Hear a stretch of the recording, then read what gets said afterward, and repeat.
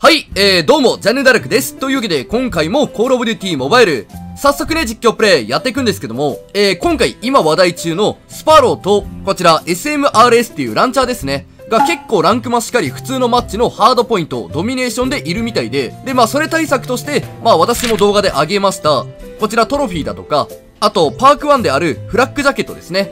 まあこちらが爆発物のダメージを35%カット。っていうのが今現環境的に結構流行ってるんですよ。そう、フラッグジャケットとかね、まあ、パーク1がもったいないって言って昔はつけなかった人が多かったんですけど、最近はまあ環境的につける方が多いのかなと。で、逆にそうなってきて、まあランチャーが使いにくくなったりだとか、スパローがまあ弱いってことはないんだけど、あ、たまに one shot one kill 持っていけないねみたいなことがありますので、ちょっとまあそういう方向きに今回めったに使わないこちら爆破エキスパートっていうのをね、まあ紹介していこうかなということで、あの、ぶっちゃけそんなに流行らない。うん。絶対流行らないっていう自信があって、そもそもパーク3ってデッドサイレンスっていうもう一番ランクマッチしかり公開マッチで使われてるパークがあるんですよ。ハーポだとかドミネーションに関してはもしかしたらハードラインとかね、アラート、そこいるあたりが使われるかもしれませんが、大体まあランクマのサーチとかチーデスに関してはデッドサイレンスが一番人気なんじゃないかなと。なので正直こう日の目を見ることはないと思いますが、まああんまりこう使うこともないパークだと思うんで、ちょっとまあ今回検証という形でね、えー、最初やっていこうかなと思います。はい、ということで早速ね、カスタムマッチの方で、まあジャケット相手にどれぐらい通用するのか見ていきましょうか。はい、やってきました。えー、まずはじめはジャケットついた相手に対して普通の爆発物。はい。これパーク3なしですね。はい。いきます。まあ、ジャケット相手だったらこういった形で耐えられます。大体まあ体力こんな感じですね。はい。そしてお次はランチャー。まあ、これね直当てすると死んじゃうんですけど、ちょっと距離置こっか。これぐらいは？あ、死ぬんだ。ランチャー強えな。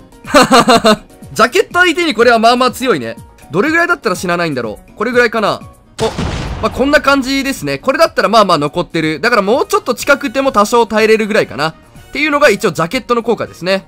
はい。えー、ではお次スパローを検証していきましょうか。さあ、ジャケット相手に直当ては間違いなく死ぬんですけど、これぐらいだったらあ、死ぬのか。まあそりゃそうだよな。もうちょっと範囲を遠くして、これぐらいかなほ。まあ、こういう形で耐えられますね。まあ、これもギリギリか。一応まあやっぱジャケットがあると、その格殺の範囲ですね。が狭まってしまうと。これ前から言ってますけど、ジャケット相手だったら直当て以外スパローは確殺持っていけなくしてもいいバランスだと思うんだけどね。ほ。ちょっとまあシビアなところありますけど、まあ大体ここぐらいですね、の距離だったら耐えれると。はい、もちろんこれぐらいの至近距離になると死にます。はい、えー、ではここからが本題。まあ爆破エキスパートをつけて敵がジャケットをつけると。はい。これでトリップマインが死んでくれたらマジで強い、環境的に。来いおーフラッグジャケットを超えていきましたね。そう、いや、この検証が欲しかった。いや、これよ、これ。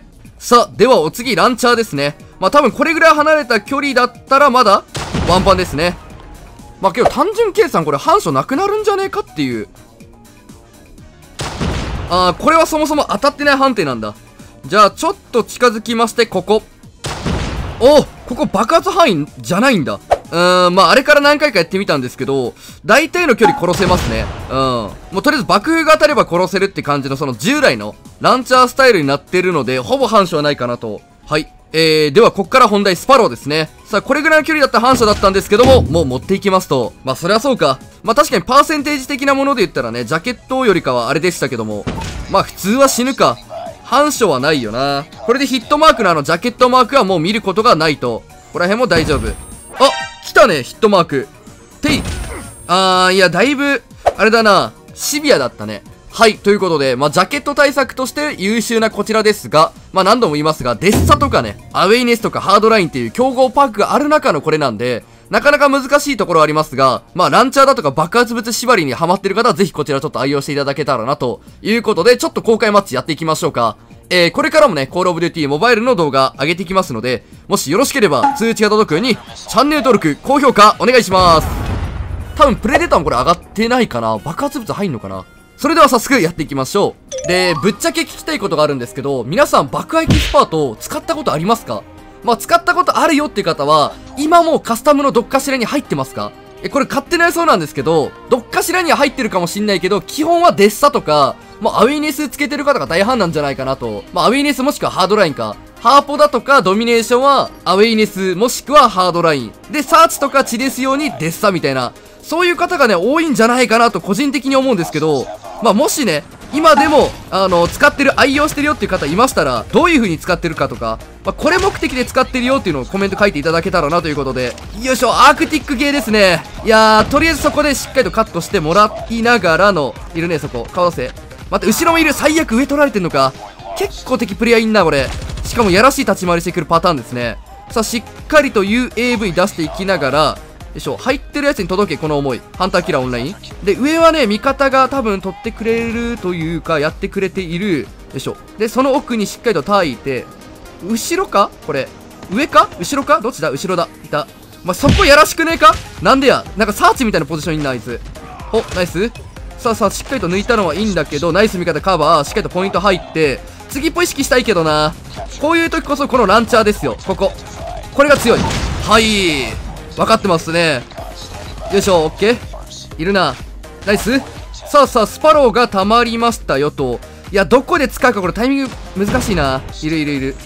そこです。オッケー。ナイス。2枚抜き。いいね。結構範囲広がってんね。で奥もまだ湧いてきている。来い。頼む。来てくれ。そこいるな。パロー切る手前カット。奥来るか？いた。反射。爆撃スパート頼む。オッケー。よし。とりあえずは UAV まで溜まってからのよいしょ。ハンターキラー投げていきましょう。目の前にいんななんか。死んでくれ。ナイス。いいね。まあ、ハンターキラーも多分威力上がってると思うんですよ。いやー、結構ジジしてんな。いや、敵がこう、ね、LMG のサプレッサーとか、裏取りの SMGER がいるから、ちょっとね、即座の対応が難しいところある。ほい。いるいる。ナイスいいね。ナイス壁抜き。で、そこいるんだけど、バイスコがないから抜けないな。いやー、次っぽ意識するか？どうしよう。手前いる。ピリファイヤー、それ。大丈夫。ナイス味方カット。やってんね。さ、しっかりと、待って、トリップラインがある。オッケー。いや、これ一回ちょっと芋って、あれだな。キルスト繋げたいな。UAV がもう回らなくなってるから、こうなってくると味方さんも多分辛いと思うんですよ。なので SR 持ちの私がしっかりとそこら辺は打開したいところではあるんだけど、右か。いた。オッケー。さあさあ、ではランチャーもあるからね、そこいるあたり使いたいんだけど。大丈夫？いや後ろが怖い時はとりあえずトリップマインを炊く。よし、オッケー。これ炊いとけば、あとはこっから見るだけ。簡単な作業。来い。アークティックゲージャー。オッケー。まだいる。反射。オッケー。リロードする。待ってそれ来ないでくれ頼む。オッケー味方ナイスいいよ。UAV。やっとこれで立ち回れる。もうこれがアルトナイトだけだいぶ変わってくるからな。来い。あ、いたな。そこ抜きます。さあ、次っぽ意識というか、いい感じでリスポーンこっちに変えたいところではあるんだけど。いやー、スパロー溜まってくんないと、ちょっと無双できないな、これ。3人固まってる。いけるな。スパロー溜まった。で、オッケー !3 枚抜きさあ、ポイント入っていきましょうか。115で、やばそう。オッケーさあ、ポイントしっかりと入っていく。センターから来る？いるね。オッケー、スパロー切る。味方に入ってもらっていきながら、下の階段は来ない。その奥やば。ランチャーがいる。スパローライフォー。パローライフ当たんないか。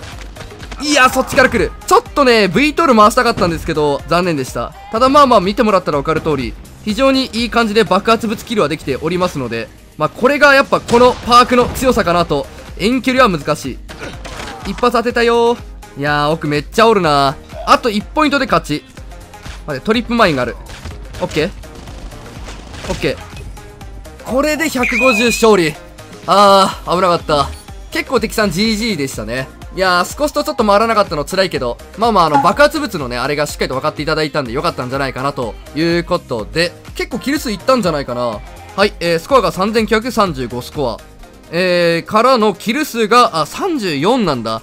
はい、えー、ということで今回こちら爆破エキスパートを紹介させていただきました。まああの、めちゃめちゃ強いかって言われたらそんなことはないんですけど、確かにまあ爆発物に関するそのストレスフリーさは、まあ増すのかなということで、まあもし敵さんにね、ジャケットいて大変だなって時は、まあこういったカスタマイズを作るのもありなのかなと思います。まあ個人的にやっぱこのトリップマインがね、まあ刺さりやすいっていうのが一番、まあ強みかなと思うんで、よかったらこちら、えー、装備ね、参考にしていただけたらなと思います。えー、これからもね、ちょっとコールオブデューティモバイルの動画上げていきますので、もしよろしければ通知が届くようにチャンネル登録、高評価お願いします。それではご視聴ありがとうございました。おおよいしょ。あいつスナイパーライフル。スナイパーライフル。スナイパーライフル。スナイパーライフル。スナイパーライフル。はいどうぞ。やったゴールゲッチューな言えるお前。あれ？カウンター出せない。出せないのか。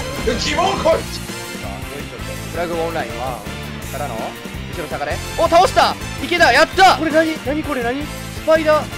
雲の皮あしてください何を聞いたこかわいい駐車取れ